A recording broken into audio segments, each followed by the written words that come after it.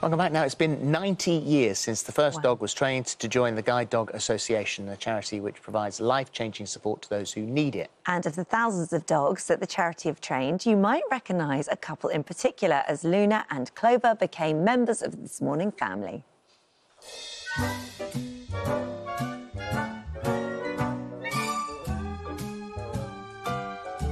She loves you. She does love me. No, it's Clover want some chicken? you want some chicken? Luna is back. Oh, yes, you're just... You got a friend in me. Uh, baby, you've got a friend in me. Luna, sit. Good uh, perfect. Down. Good girl. Oh, what's this? I know. Look, eat uh. something, please. got a friend. You little devil.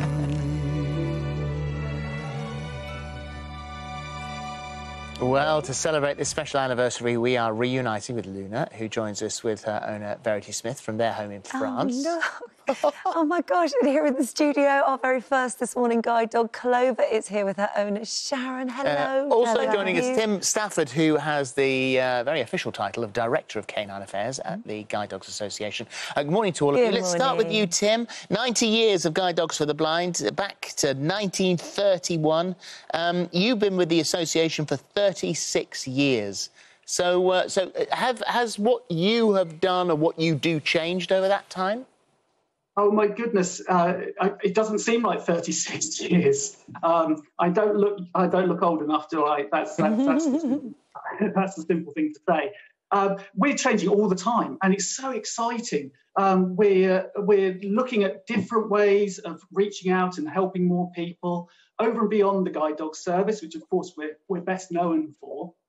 Um, and our dogs change lives in so many different ways but we're looking to help people with sight loss no matter what their age is. We've got people with guide dogs who are 14 years old, we've got people with guide dogs at 90 years old. And then, of course, we offer a range of different services to help people in ways over and beyond what we can do with our dogs. Well, we've got um, Sharon and Clover here in the studio with us. It's so lovely to see her. I mean, she really hasn't changed much. She's got a bit older, but she hasn't changed too much. It's good to see her. And for you having her in your life, I know she wasn't your first guide dog, but having a guide dog be part of your life, what difference did that make to you? Oh, a big difference yeah. to me. I mean, I was a a cane user, I had quite a big gap between my second guide dog and my yeah. third guide dog.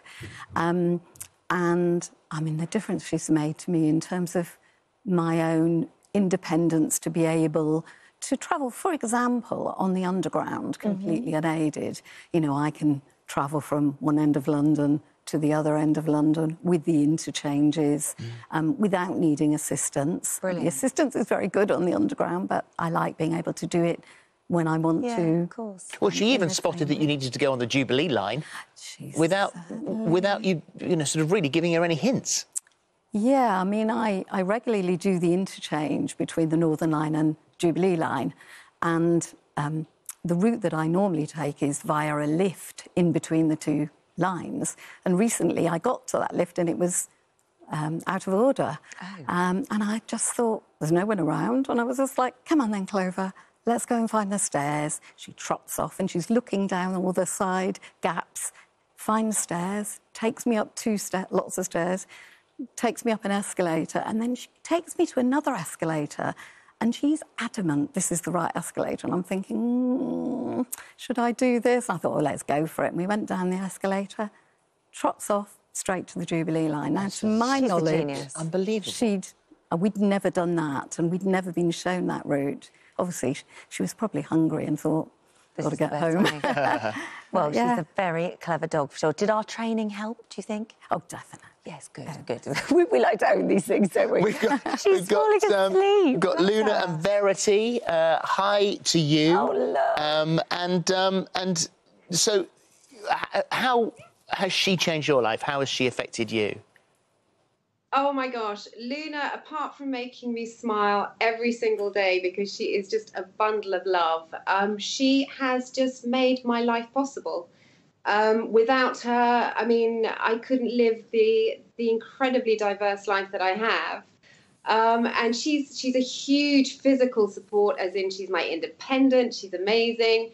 Um, but she's also, you know, she's also there emotionally. She's a girl's girl. You know, she really does look after me. She's a she's a good girl. You can say hi to Holly and I, Phil. know, I can't believe how big she's got. She's huge there, and you are. She um, is big. She's You are a Paralympic dressage rider, and the nature of your job means you are out and about. You're in lots of locations where there may be a red carpet or lighting or cameras and all that sort of stuff. And you believe that her time here on this morning really set her up for that sort of thing.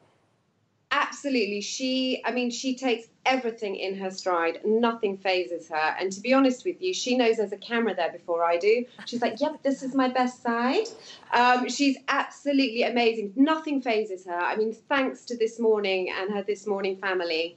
Um, and her trainer Michelle, of course, and guide dogs. She's she's she's she's amazing. Well, she's even sung with Andrea Bocelli. I mean, not she wasn't supposed to, but she did. Oh, hilarious!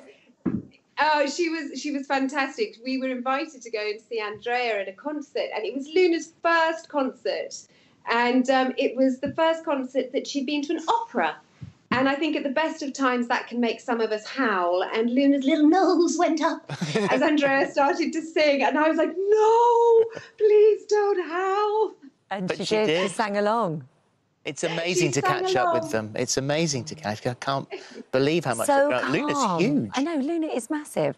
We could never She's get gonna Clover to sit like that, she's could we? die. No, never. She never sat there like that for us. She's obviously very happy in her new home with Just you. finally back to Tim, because Tim, I mean, uh, looking at the figures, it costs £34,600 to breed and train a single dog. So I'm assuming money is tight.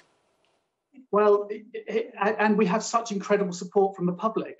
Um, everything that we do is, is, is donor funded. So we reach out to people, um, pe- people like your good selves, um, who, who help, help to put the word out there of the work that we do, the impact that our dogs make on people's lives, and the fact that none of this would be possible without our army of donors, our army of volunteers, and some dedicated staff who, who turn little tiny puppies like Luna and Clover into the amazing guide dogs that they are today. Amazing. Thank all. you. Thank, Thank you. you. It's lovely So to lovely see to you. see you. Thank you so much.